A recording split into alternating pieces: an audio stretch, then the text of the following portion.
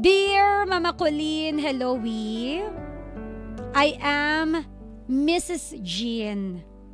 I just want to share my story because I am in complete pain this time. At pagod na pagod na ako. Nakakapagod pala pag all out ka. Yung naniniwala ka sa word na commitment pero yung partner mo wala na pala sa kanya. Mama Kulin, Ron was my first boyfriend.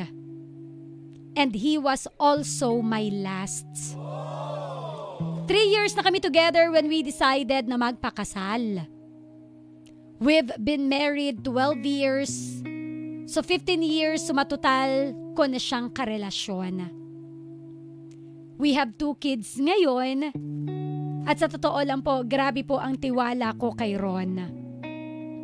Never ako nangialam ng cellphone niya because nire-respeto ko yung kanyang privacy. Hindi rin ako yung tipo ng babae na mangangalkal ng gamit ng may gamit at never rin akong naging paranoid girlfriend o misis. Not until nag-abroad siya for one year. At wala akong kamalay-malay sa mga pinaggagawa niya. Tipong kung anong sinasabi niya, okay lang sa akin. Super tiwala ako at hinahayaan ko lang. Sa kabila ng pagtatrabaho niya sa abroad, tinuloy ko pa rin naman ang pagtatrabaho ko dito sa Pilipinas. Hindi ako para dumipende lang sa kung ano yung ipinapadala niya. Ayoko ring hingin sa kanya yung mga wants ko at gusto ko ay kahit papaano ay may sal- sarili rin akong pera. Isa pa ay para makatulong din ako sa aming dalawa. Kasi sabi niya, konti lang daw yung sahod niya. Pero ako naman tong si Tanga, nagpapaniwala. Tipong kahit tax refund. Na tinanong ko noon kung meron ba. Eh meron naman pala. That was 2016 to 2017. Hindi ko alam na puro gadgets at gala pala siya doon. Pero kapag tinatawagan ko siya, ang lagi niyang sinasabi, busy, o kaya naman ibababa niya na kasi overtime siya sa trabaho. But despite all of it, Mama Colleen, I still continue being the supportive and even a submissive wife to him. Ganun ko siya kamahal, ganun ako katiwala sa kanya. 2017, natapos na po yung isang taong kontrata niya sa abroad. Akala ko sa pagbabalik ng Pinas niya, eh, magsisimula na kami na magnegosyo. Pero hindi ito natuloy dahil plano niya uli bumalik ng ibang bansa para naman daw mag-caregiver. Malaki raw kasi ang kikitain niya. So nag-enroll siya ng caregiving course dito sa Pinas. Pero ang resulta, failure. Oh, no. Dahil na-scam kami. Yung 30,000 na binayad niya sa school, nawala po na parang bula. Yung papasukan niya sana, e eh bigla na lang ding nagsara. Kaya ending, ako na muna ang nagtrabaho para sa pamilya. Lahat ng racket ginagawa ko pero minsan naiinis ako dahil may mga times na nagsaselo siya ng walang dahilan. Oh, no. Ewan ko ba? Baka naboboard lang no mga time na yun kaya ako po ang napagtitripan. Kung tutuusin, purely work lang ako ng mga panahong yun kasi ako na lang mag-isa ang nagtataguyod ng pamilya namin. Makalipas ang isang taon, sinubukan niyang magtrabaho sa call center. Nakapasok, pero tatlong buwan lang ang itinagal. Oh, no. Tapos, nagkatrabaho uli ng iba. Dalawang buwan lang yung tinagal. So in short, on and off ang trabaho niya. Super stress na ako kakaisip kung paano ko ba itatawid mag-isa ang pamilyang ito. Pero sabi ko, laban! Pagsubok lang to. Malalampasan namin to.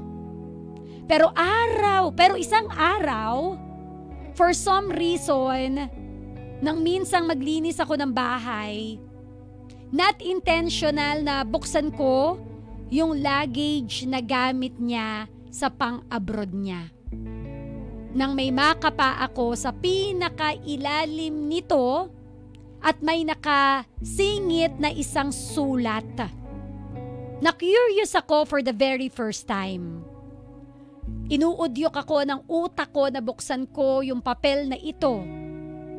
Pero nang buksan ko, tumambad sa akin ang isang revelasyon na nagpasakit ng puso ko. Na sana hindi ko nalang binuksan dahil masasaktan lang pala ako. Isa itong sulat intended to someone, intended to another woman. Mama Kulin, hindi ko nga ugali ang mangalkal ng gamit ni Ron. Pero for some reason, inuudyok ng utak ko na buksan yung letter na nakapako sa ilalim ng maleta niya. Nasaktan ako sa aking nabasa. Thanks for sharing your life story with me. Yan ang hindi ko malilimutang sinabi niya pa sa sulat. At nakalagay din doon na bukod sana sa sulat, may flowers pa dapat daw siyang ibibigay kay girl. At ibinida niya pa yung sarili niya na mahilig naman daw talaga siyang magbigay ng bulaklak. At nung college days nga namin, mahilig din siya magbigay sa akin. Pero ngayong mag-asawa na kami ay hindi niya na daw yun nagagawa. Na parang pinapalabas niya sa sulat at sinasabi niya doon sa babae kung gaano ka-espesyal yung babae kay Ron. Marami pang mga sweet na nilalaman ng sulat na after ko mabasa ang lahat, parang gumuho yung mundo ko. Nasa kabila pala ng lahat ng sakripisyo ko, magdamagang trabaho, pag-iintindi sa kanya kung kailan siya magkakaroon ng trabaho, sa pagiging submissive ko, sa kabila ng lahat, niloloko lang pala ako ng asawa ko. Oh, no. Ng asawa ko na sobrang pinagkakatiwalaan ko na never kong inisipan ng masama at never na sumagi sa isip ko na magagawa niya akong lokohin. Nasabi ko, ayos ha? Wala na nga sustento. Hindi na nga ginagampanan yung responsibilidad niya bilang padre de pamilya, yun pa pala ang mapapala ko. At ang pinakamasakit pa, Mama Colleen, nakikita ko na very active siya sa pag-heart react sa mga babaeng sexy na nakikita niya sa Facebook. Samantalang sa mga post ko, hindi man lang makareact kahit like. At para bang wala siyang pake-alam. Kinumpronta ko na po siya doon. Pero imbis na magbago, pinagtatalunan pa namin ito to the point na sinasabi niyang normal lang sa aming mga lalaki yan. Oh, no. Pero ang mas masakit, nababasa ko yung mga chat niya sa mga tropa niya sa mga classmate niya noon na not in good terms na daw kaming dalawa. Na sinisira niya ako sa ibang tao na sa totoo lang nakaka-degrade ng pagkatao ko. Asawa niya ako pero bakit ganito ang kaniyang trato? Dahil sa ginagawa niya, parang gusto ko na lang kumawala. Hindi ko alam kung ano ang nangyayari sa aming dalawa hindi ko alam kung saan ako nagkulang. Naging submissive ako na misis sa kanya, nagtiwala ako sa abot ng aking makakaya, inintindi ko siya, do I deserve this? Oh, no. Kaya gulong-gulo na ako, Mama Colleen. Nakakapagod lang kasi naniniwala ka sa word na commitment. Pero yung partner mo, parang baliwala na ang lahat sa kanya. Ano ba ang dapat kong gawin? Ang sakit na rin kasi. Ang sakit-sakit. Muli, ako po si Mrs. Jean. At ito ang aking kwento dito sa Heart to Heart with Mama Colleen. Talk. Real talk. Real talk. Hindi ka ba nanghihinayang? Grabe no, nakakapanghinayang naman kasi talaga na you've been together for 15 years. Yung akala mo, hindi niya sisirain yung tiwala mo. Yung akala mo na kapag ka naging submissive ka sa kanya, kapag ka inintindi mo siya, kapag ka naging almost perfect wife ka sa kanya, akala mo wala ng ending, akala mo wala na magiging problema. Pero bakit ganun biglang, biglang may problema? Ang nakakainis pa dito, siguro nasasaktan ka doon sa fact na tiwalang-tiwala ka na hindi magloloko yung mister mo eh. You never imagine, never in your wildest dream na lolokohin ka niya, ganun mo siya katiwala. At totoo yun, yung pain, ang sakit. Kasi, kumbaga parang ano yan eh, binibida mo siya sa mga tropa mo, binibida mo siya sa mga pamilya mo, yung asawa ko, perfect yan. Never na never gagawin niyang manloko. ba? Talagang promise, straight lang yan sa akin. Kahit mga ibang bansa yan ng ilang beses, ako lang din ang uuwian niya at the end of the day. Tapos biglang, psh,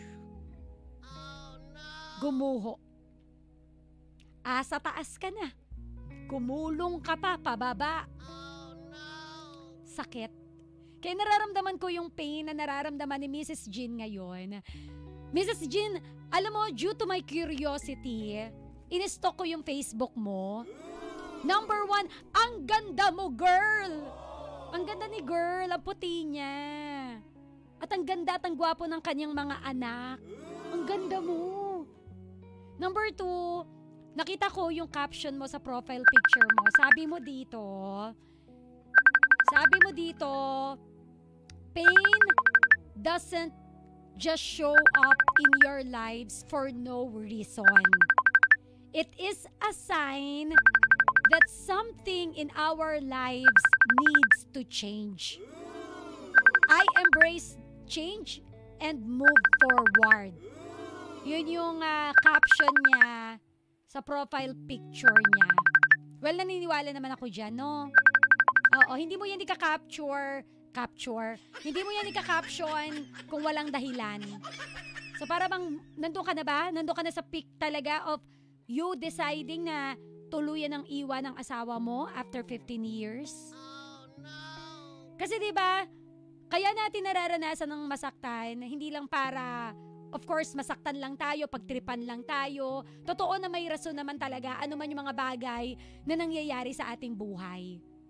Maaaring baguhin nga nito totally yung buhay mo, pero maaaring ito ay para lang mas maging matatag kayo. Kaya kapag magdedesisyon ka, talagang iisipin mo talaga maigi. I- it, panahon na nga ba para bumitaw? Panahon na nga ba para tuldukan yung relasyon namin? O baka pagsubok lang to ni Lord na kailangan lang naming lampasan at kapag ka nalampasan namin ito, mas magiging matibay yung relasyon naming dalawa. Kaya ang hirap, ang tricky. 'Di ba? Hindi mo alam kung ano ba yung pipiliin mo kasi mahirap eh. Lalo na kapag ka merong anak na involved. 'Di ba?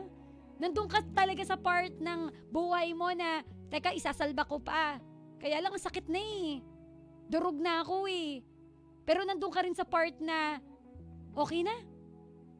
Hindi ko deserve to. I don't deserve to be treated this way. Lalo na yung part na idinidenay ka na sa tropa niya, sa mga classmate niya. Na binobroadcast niya na na we're not in good terms. Eh kapag ka sinabi mo yun sa mga tropa mo, parang you are opening your doors to possibility na, oh, hindi na kami okay ng misis ko. O sa mga babae dyan, magparamdam na kayo. Bukas na ang kusina. Welcome na kayo kasi rocky road na kami ng misis ko. ba? So siguro ako, oo, emotionally, mentally, you are drained. You are really in pain, hindi man physically, pero yung, yung bugbog na yung utak mo kakaisip, ano na mga bang ginagawa ng asawa mo. Siguro, for one last time, tanungin mo na lang siya, ano yung rason ng bigla mong pagbabago? May iba ba? Hindi na ba talaga natin bigyan ng another chance yung relasyon nating dalawa? Kasi again, baka pagsubok lang to sa relasyon ninyong mag-asawa. Baka naliligaw lang, na, lang siya ng landas and as a wife, kailangan mong i-redirect siya sa tamang daan patungo at pabalik sa inyong pamilya. Ulitin ko, klaruhin ko ha. Huwag niyo akong i-quote unquote. Mama Kulin, mentally drain na nga yung babae. Kapag ganyan, hiwalayan mo na. Bakit pa kailangan magtiis? Again, hindi natin tinetolerate yung ganitong actions. Okay? I am not discounting yung katotohanan na may maling ginagawa si mister at hindi tama yung ginagawa niya sa'yo. Nasaktan yung puso't isipan mo. Bilang nanay ng mga anak niya. 'Di ba? Mali na siraan ka niya sa mga kachat niya, siraan ka niya sa mga classmates niya. Kasi rule number one, sa buhay mag-asawa. Protect your partner at all costs. 'Di ba? Kasi at the end of the day, kayo yung best friend naman talaga eh. Yung mga kaibigan nyo, makikichismis lang yan, makikisawsaw lang yan, makikimema lang yan. 'Di ba? Pero at the end of the day, kayo pa rin talaga ang, ang end game eh. Yung mga pagsubok nandyan lang yan eh. Yung mga lumalandi nandyan lang yan eh. 'Di ba? Pero sana wag mong iwan yung tao na sinasamahan ka for better or for worse. Iniintindi ka sa maganda at pangit mong ugali. So, yun lang. Siguro, meron pa akong hope kasi na again baka pagsubok lang to. Pero kung talagang masakit na, pag-usapan na ninyong dalawa. Kasi bakit nga naman pahabain pa, ipoprolong pa yung hirap, yung agony. Kung alam mo at nakikinita at natatanaw mo na talaga na doon na talaga kayo patungo sa tuldok ng relasyon ninyong dalawa. Sana hindi pa endgame. Sana may pag-asa pa. Challenging talaga. Ang hirap hindi mo na nga alam kung paano sagutin, 'di ba? Kaya nagtatanong ka na ano ba ang dapat mong gawin. So at the end of the day, ikaw pa rin ang makakapag-decide. Ano ang dapat? Kasi ikaw yung mas nakakaramdam ng bigat. Ikaw yung mas nakakaramdam ng sakit. Kung tingin mo hindi na talaga tama, kung tingin mo basag na basag ka na, then isipin mo ano yung tingin mo na magiging okay ka, pati ang mga bata. Basta ang tip ni Mama Colleen, magsamahan mo ng dasal. Samahan mo ng dasal. Kasi ipaparamdam din naman niya sa'yo kung ano ang tama na dapat mong gawin. Kawinner, yan po ang kwento ni Mrs. Jean dito sa Heart to Heart with Mama Colleen. Kung ikaw si Mrs. Jean, ano nga ba ang desisyon na tatahakin mo? Speak from your heart. Makimema na. 0977700915 or mag-comment sa latest post ko sa Facebook. Hanapin mo DJ Mama Colleen yung video. Sa aking pagbabalik, ikaw naman ang bibida, sausaw mo naman, mema mo naman ang bibida dito sa programang May Puso. Ang programa para sa iyo heart to heart with Mama Colleen. Nanny